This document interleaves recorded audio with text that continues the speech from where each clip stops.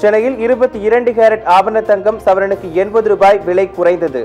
ஒரு கிராம் ஐந்தாயிரத்து ஐநூற்று ஐம்பது ரூபாய்க்கும் சவரன் நாற்பத்து நான்காயிரத்து நானூறு ரூபாய்க்கும் விற்பனை.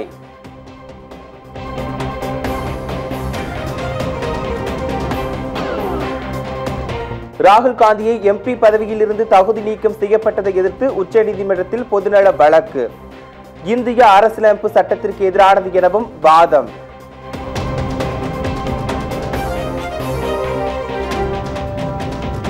எடப்பாடி அருகே பட்டாசு ஆலை வெடிவிபத்தில் உயிரிழந்தவர்களின் எண்ணிக்கை இரண்டாக உயர்வு.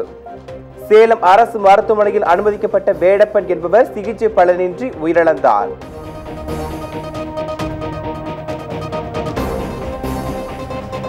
உலகம் முழுவதும் கொரோனா வைரஸால் பாதிக்கப்பட்டவர்களின் எண்ணிக்கை அறுபத்தி எட்டு புள்ளி மூன்று ஒரு கோடியாக உயர்வு. இரண்டு கோடியே இரண்டு லட்சத்திற்கும் மேற்பட்டோருக்கும் மருத்துவமனைகளில் சிகிச்சை.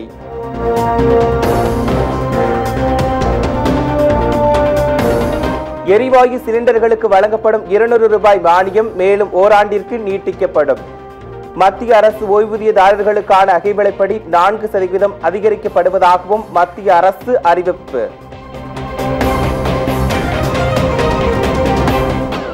காவிரி டெல்டா பகுதிகளில் பரவலாக பெய்து வரும் தொடர் மழை எதிரொலி. ஒகேனக்கல் காவிரி ஆற்று நீர்வரத்து வினாடிக்கு இரண்டாயிரம் வினடியாக அதிகரிப்பு.